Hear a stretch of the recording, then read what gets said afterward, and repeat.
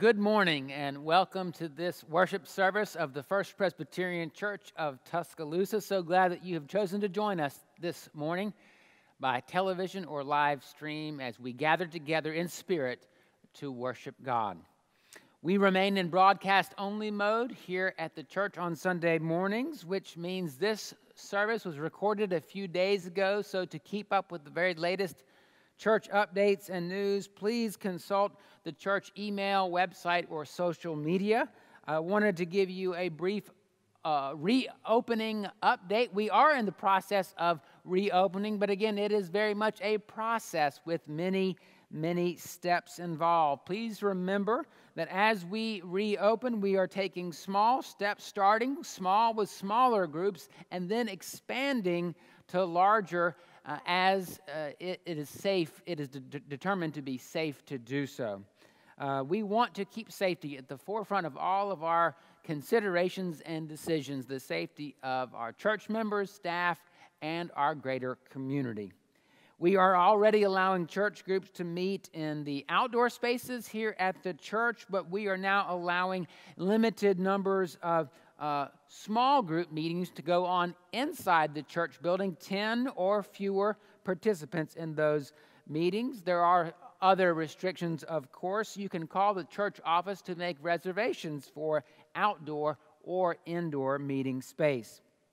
In addition, we are preparing for several programs to resume. Youth Sunday School resumed this morning by Zoom and youth group kicks off next Sunday in person on the 20th of September at 4 p.m. here at the church. And parents of youth, please remember that today, the 13th, there will be a parent meeting at 5 p.m. on Zoom. Uh, children, we are looking forward to seeing you again soon. We are getting organized for Logos, and soon we will be having Logos this year on Sunday afternoons, beginning on October the 4th. So we're making those preparations now. Be patient and wait, but we are looking forward to seeing you again soon. Presbyterian Women reminds you that there is an all women's Bible study going on this fall that all women are invited to participate in, whether you are in a circle or not. Uh, the first of these studies will be offered tomorrow on the 14th by Zoom. There are options at 11:30 in the morning and at 7 p.m., trying to make it work for women on different schedules. Again, church, check the church email uh, for all the details. And again, all are welcome. All women are welcome.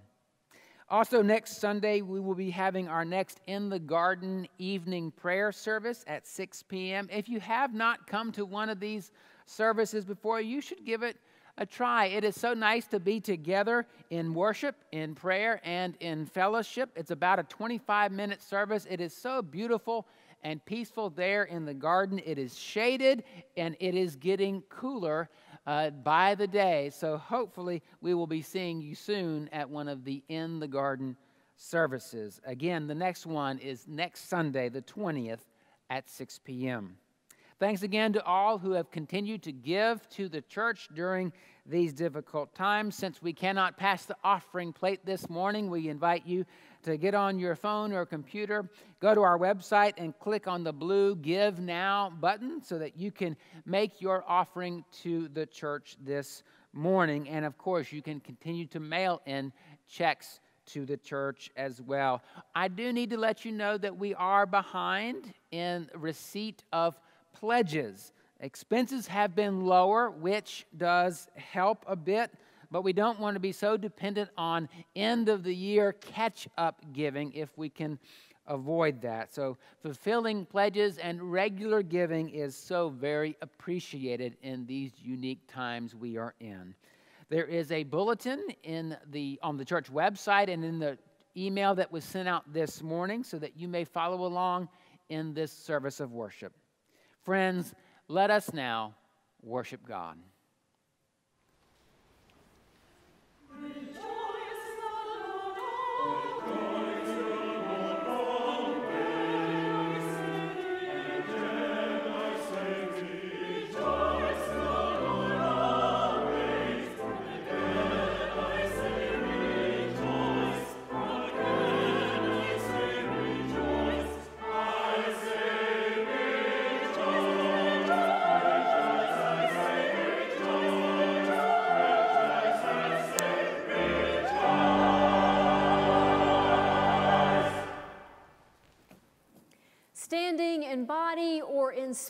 Spirit, let us praise God with the responsive call to worship.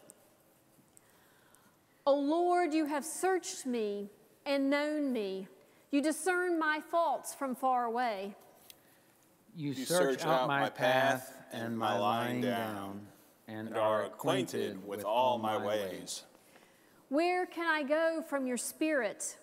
Or where can I flee from your presence?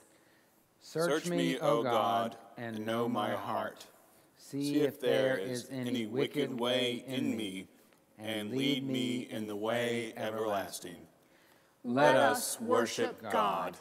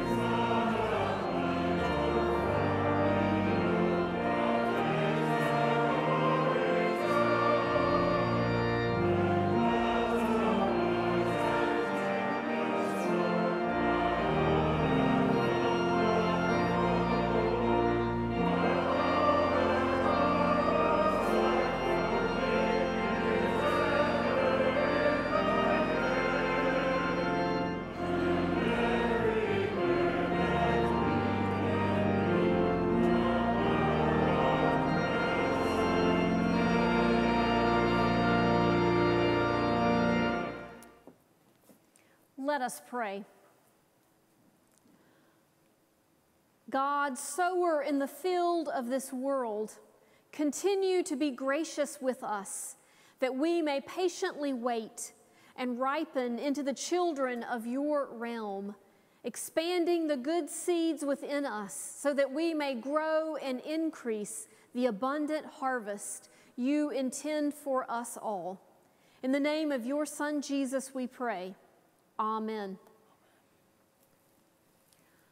Trusting in God's mercy, let us acknowledge to ourselves and each other those ways we fall short of how God intends us to be. Let us confess together. We confess, O God, that our lives are a mixture of wheat and weeds. There is much good in us, but we are too quick to point it out and take all the credit for it. We live as if a little good will cancel out a lot of bad. We also confess that a weak faith sometimes allows a little bad to cancel out a lot of good. We have heard that when harvest comes, all will be sorted out.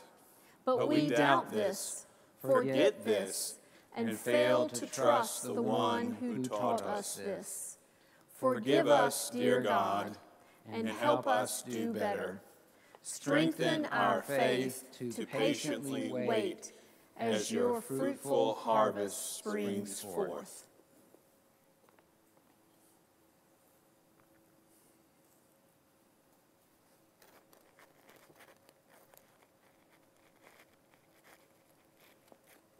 Amen.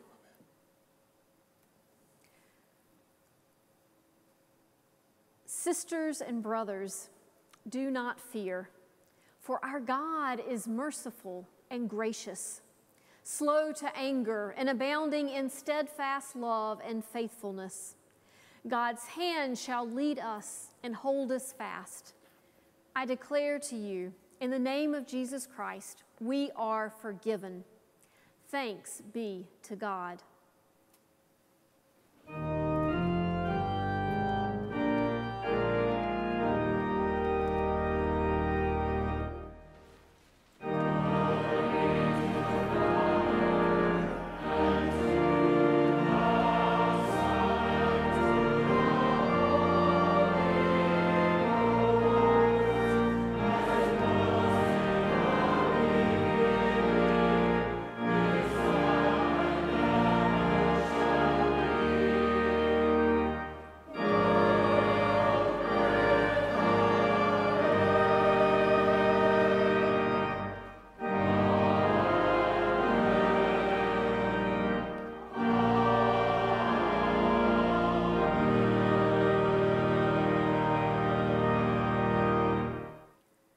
Since God has forgiven us, we should also forgive one another, sharing God's peace with each other. So let us turn to those and say, The peace of Christ be with you, and respond. And also, and also with, with, you. you. Peace, Luann. Peace, Andy. Peace, peace Michael. Peace, peace, friends. Michael. Peace to everyone. Peace, peace Catherine.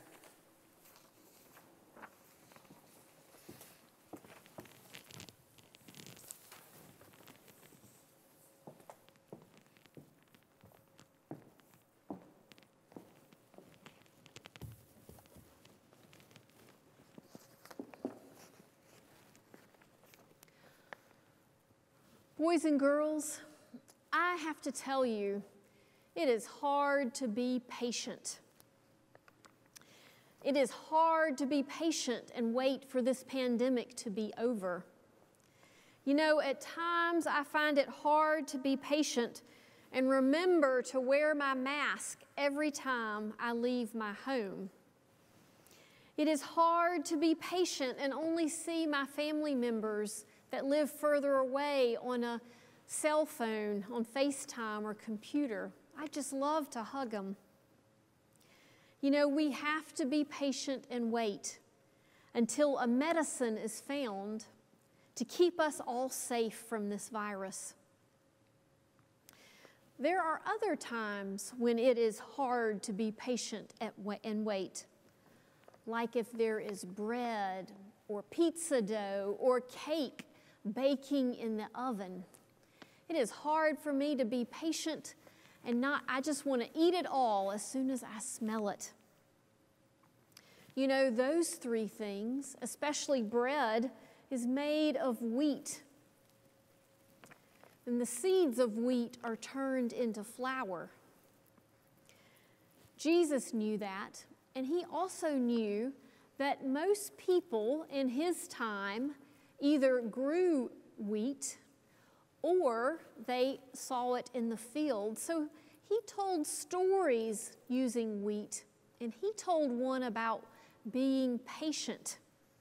And that story was something like this He said, God has a dream for us. God wants us to live in a way that we are all happy. And he said, God's dream for us is like a farmer who had a big field and took seeds of wheat and planted them all over the field. And then the farmer waited and it began to grow, kind of like nice green grass. But one night, a wind blew, and it blew in different seeds And those seeds grew up weeds.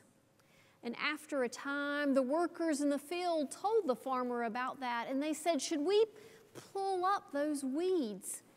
And the farmer said, No. Let us wait until the wheat is ready to be harvested.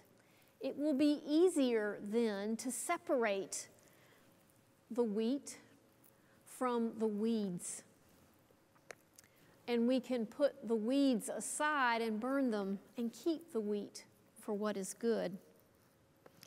You know, one of the disciples who was sitting there and heard this story said, Jesus, I don't understand quite what you mean about this wheat field and good seeds and, and seeds that are weeds.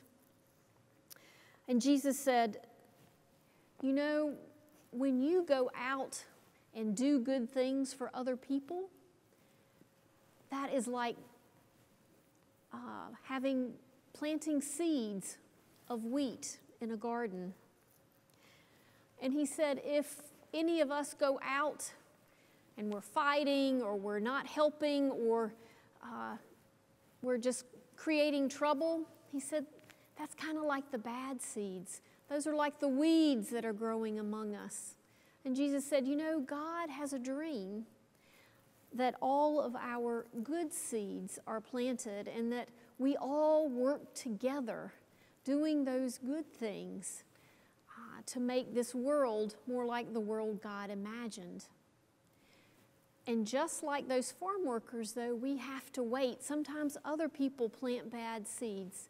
We have to wait and be patient until it's time to harvest and time uh, that all that is good is gathered together. So let us remember, boys and girls, that we all try to plant good seeds and that we try to do kind things for others in our lives, whether it's with the people that we live or people in our community who might be hungry or thirsty.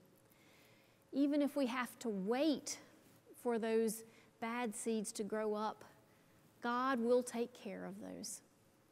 So now I invite you to pray with me, repeating after me Dear God, Dear, Dear God, God, thank you for taking care of us all. thank you for taking care of us all. Help us to do the good things. Help us to do the good things.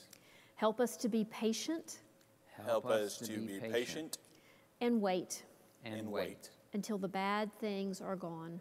until the bad things are gone. We love you, God. We love you, God. Amen. Amen.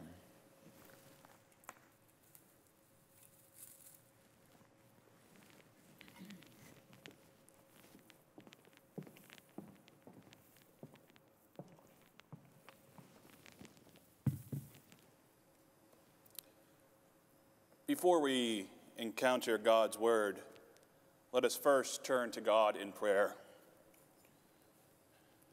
Holy and gracious God, send out your Spirit to quiet our hearts and to open our minds in order that we might hear what you are saying to your church. In Jesus' name, amen.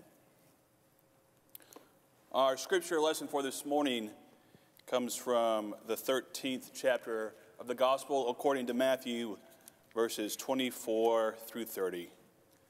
Listen now for the word of the Lord. He put before them another parable. The kingdom of heaven may be compared to someone who sowed good seed in his field. But while everybody was asleep, an enemy came and sowed weeds among the wheat and then went away. So when the plants came up and bore grain, then the weeds appeared as well. And the slaves of the household came and said to him, Master, did you not sow good seed in your field? Where then did these weeds come from? He answered, An enemy has done this. The slave said to him, Then do you want us to go and gather them? But he replied, No, for in gathering the weeds, you would uproot the wheat along with them. let both of them grow together until the harvest. And at harvest time, I will tell the reapers, collect the weeds first and bind them in bundles to be burned, but gather the wheat into my barn. Friends, this is the word of the Lord. Thanks, Thanks be to God. God.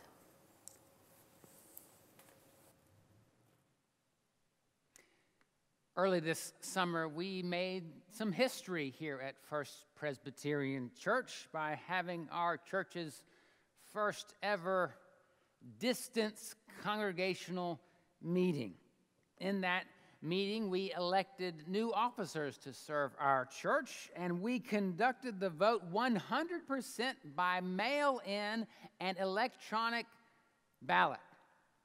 Thankfully, no voter fraud has been detected in any way, and to this day, we have absolutely no evidence suggesting any meddling on the part of the Methodists.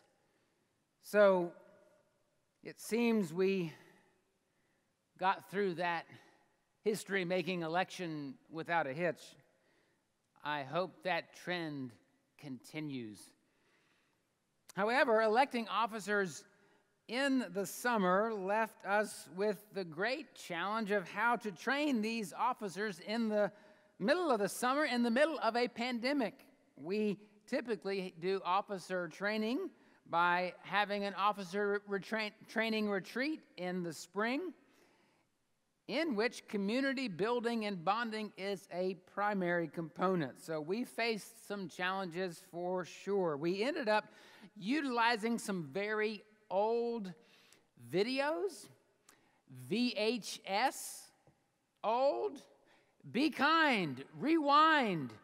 Kids, ask your parents what those words mean. We also created some videos of our own and, of course, had some good old fashioned Zoom meetings. But we got our new officers elected trained, examined, and voted into office by the session in the middle of a pandemic, my greatest accomplishment this whole year.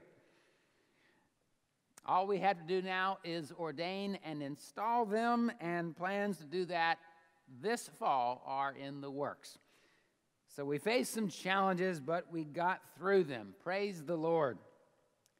One of the greatest challenges we faced in officer training, however, was not technological, but theological.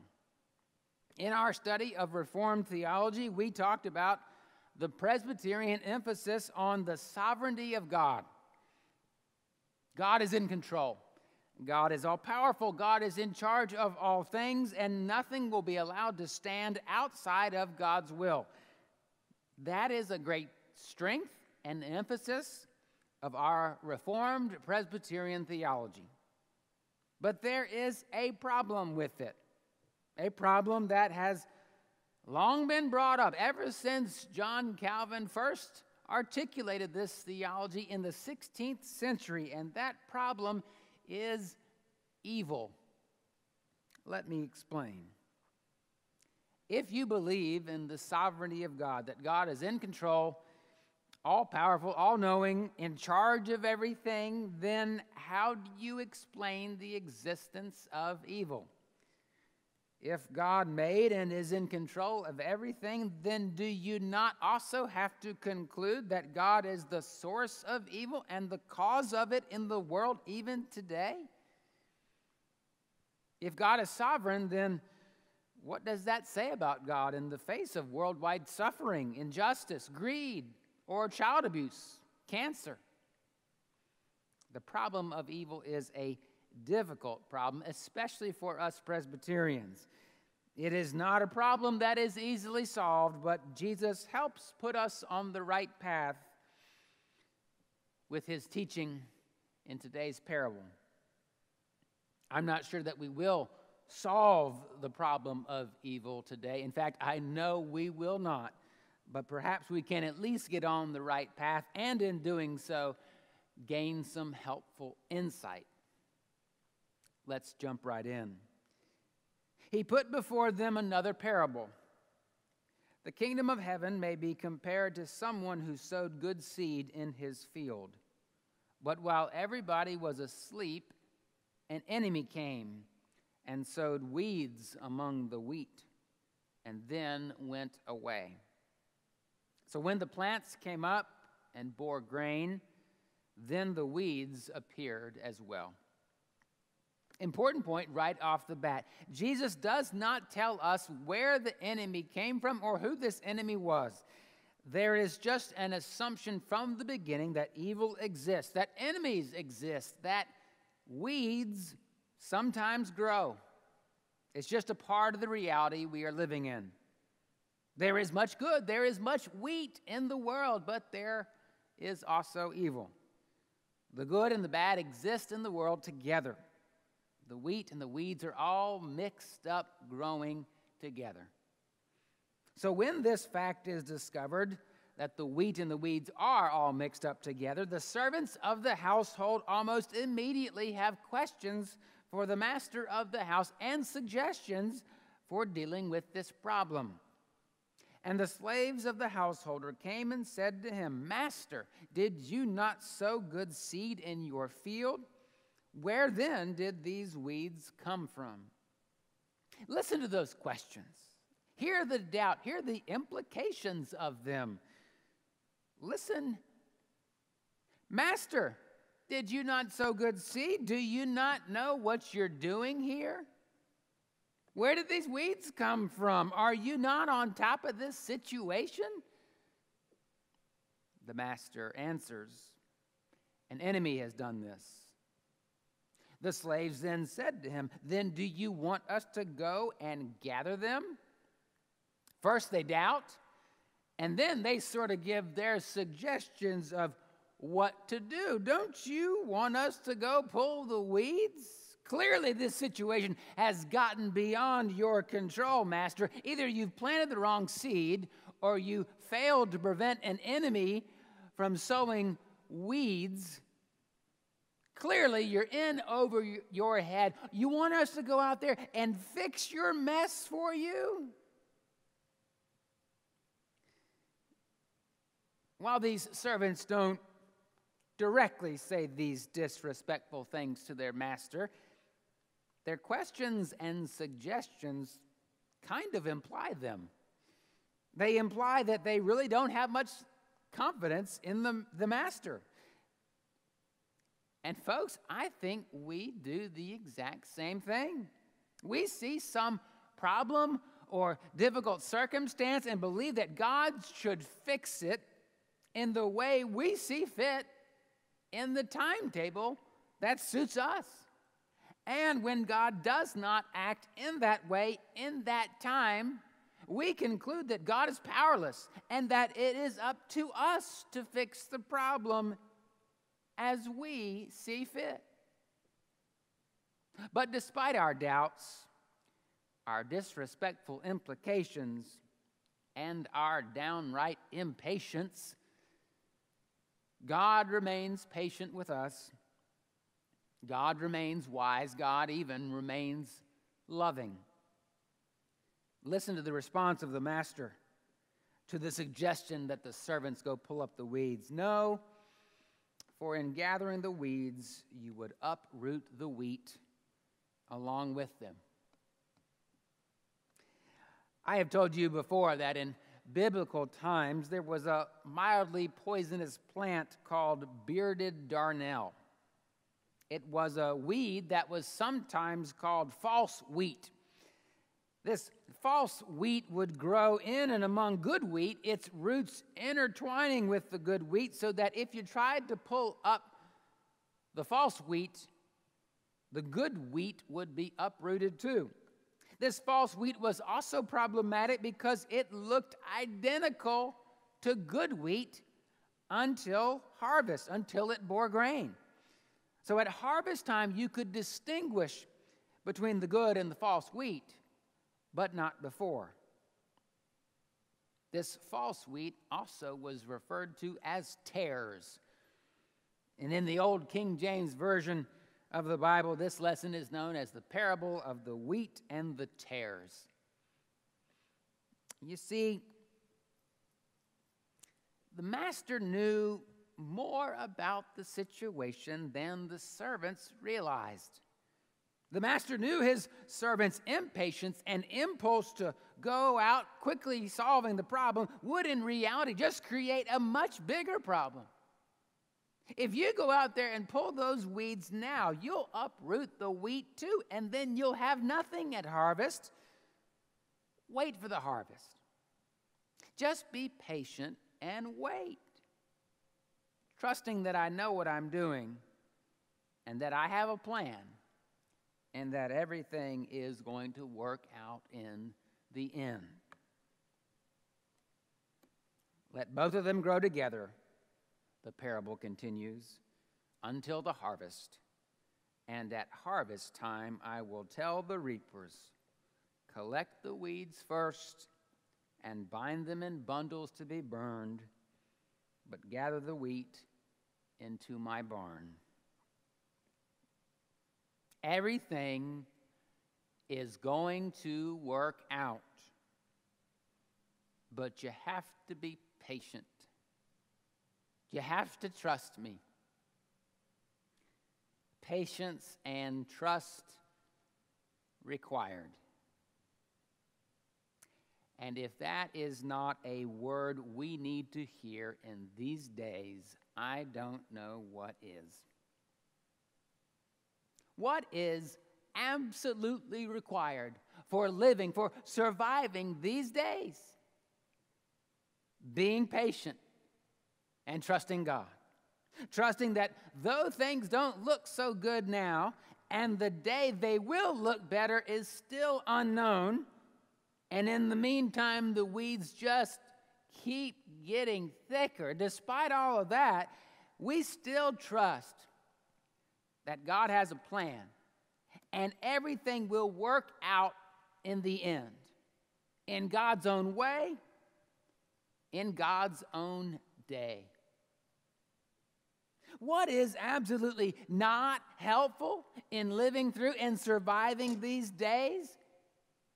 Being impatient and putting our trust in ourselves in our own understanding and skills at dealing with this incredibly complex, complicated situation that no one has ever seen nor lived through before. Patience and trust required, y'all. That should be the bumper sticker of the year 2020. I've heard other phrases that could be bumper sticker possibilities for 2020, but I can't mention them in church.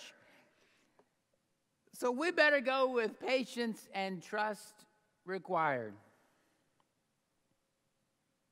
In his commentary on this passage, Ted Wardlaw makes reference to God's holy and purposeful ambiguity.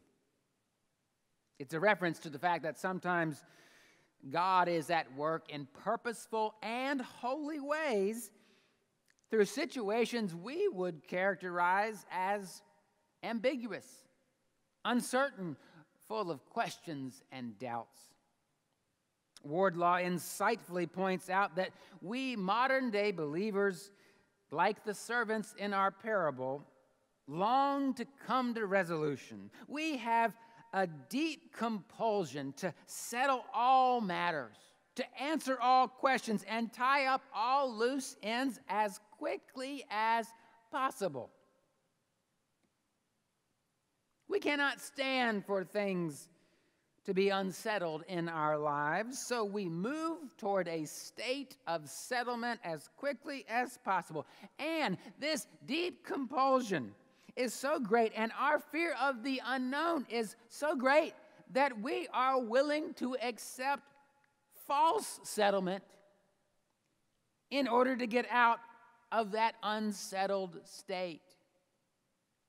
But we know from the metaphor of our parable today what settling for false wheat will do.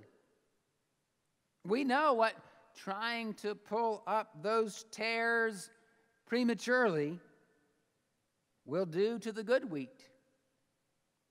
It will lead to a bigger mess than we could possibly imagine. And, folks, I think the mess we have on our hands now is big enough. Truly, truly. Patience and trust are required. As long as a sovereign God reserves the right to work through a holy and purposeful ambiguity, then patience and trust are required. And yes, God does indeed call us into action, to put our faith into action, even when we don't fully understand where we are going and what we are to do. That is true. I'm so glad you thought of that. That I thought of it too. But that is the subject of another sermon another day. Today, Jesus is teaching, and God's word to us is a reminder that patience and trust are required. What a helpful, instructive, meddling, and perhaps even saving word that could be for us.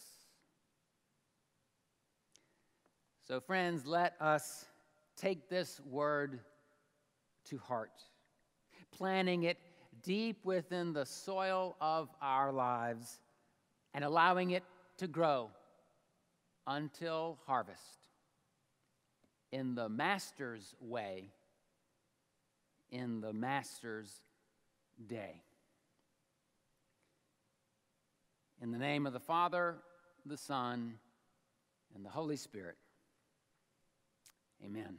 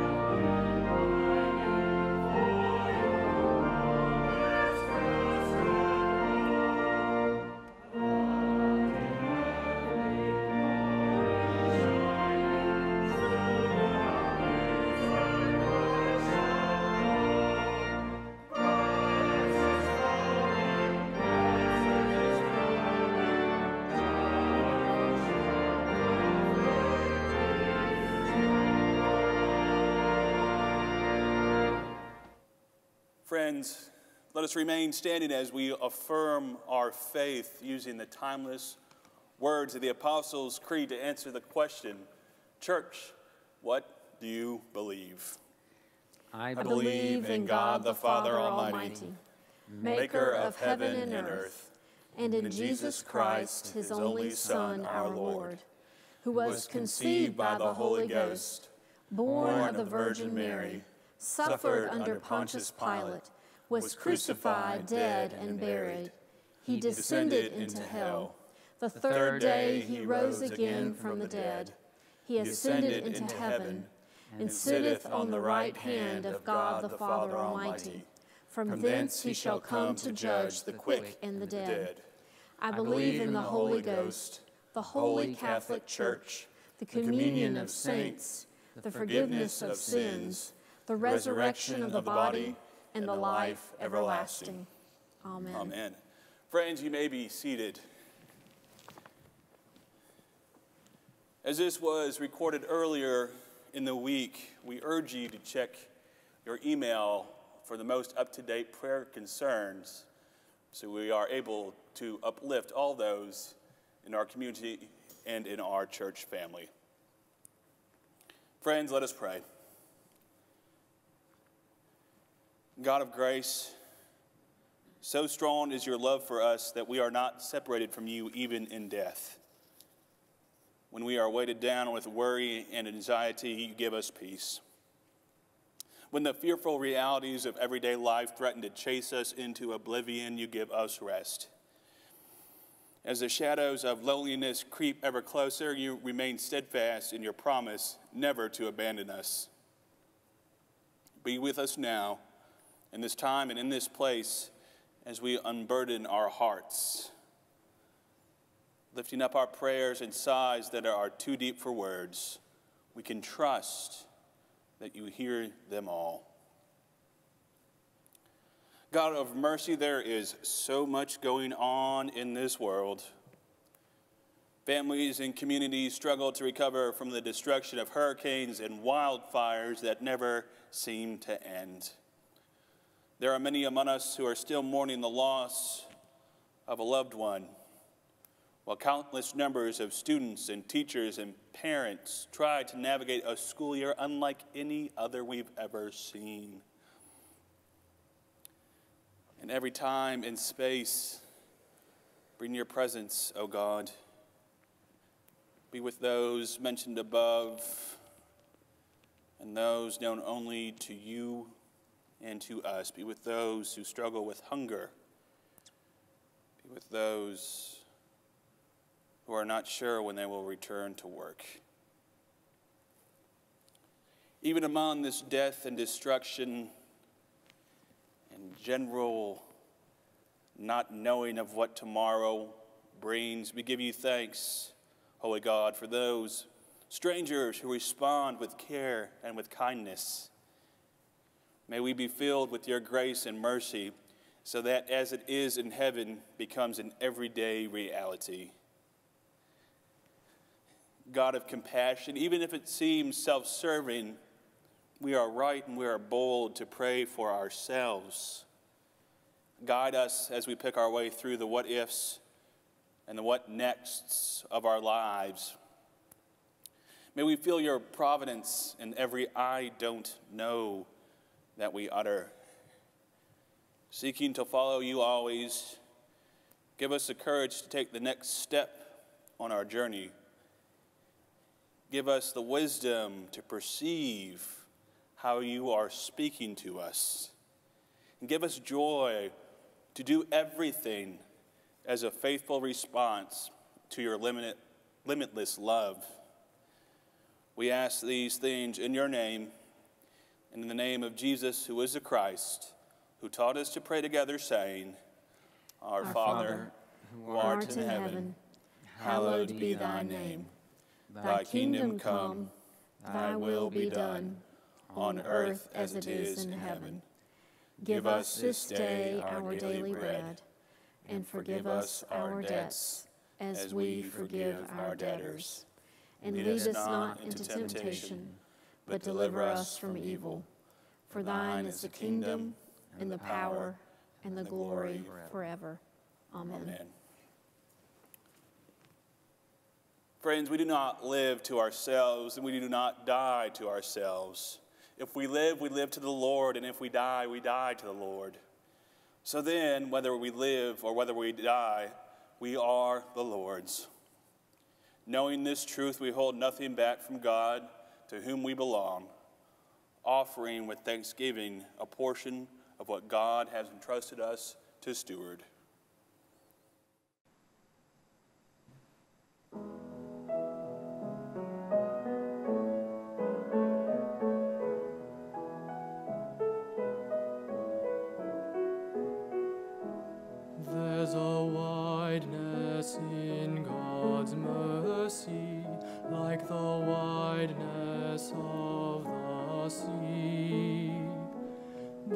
Kindness in his justice, which is more than liberty.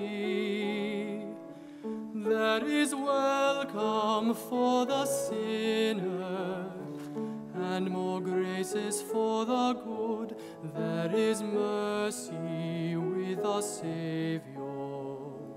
There is healing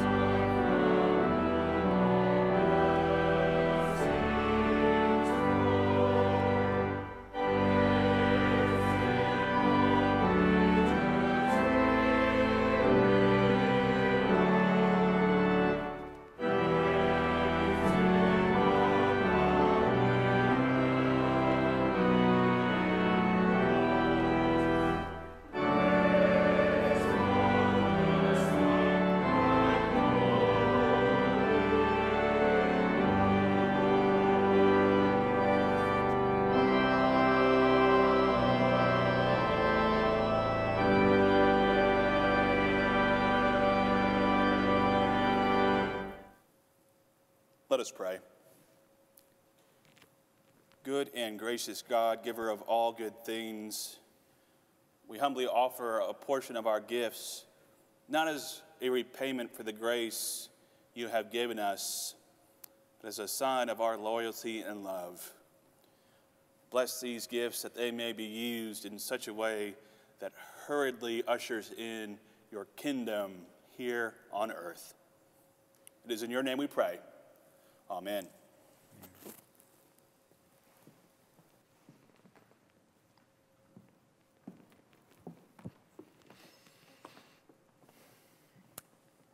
Well, patience and trust are required.